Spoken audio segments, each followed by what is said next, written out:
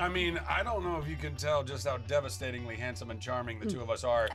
Um, but that's, I think, pretty much the that's where that's where we start. That's where the worlds really collide.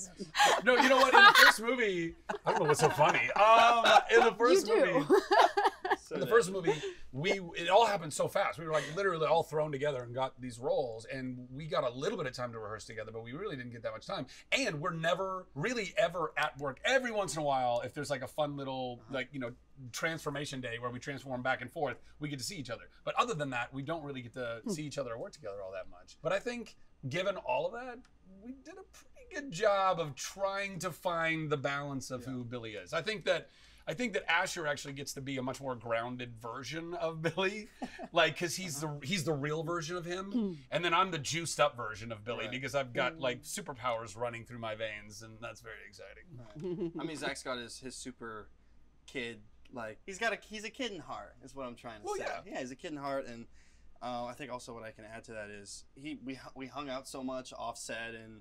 You know he's such a great guy, He- and we just we meshed really well together. I guess overall, but like Yeah. you said, we never really we were never on set at the same time. We Yeah. kind of it was all thrown together so fast, and luckily, you know, David's vision and uh, it just all worked out. Yeah. for the most part. Yeah.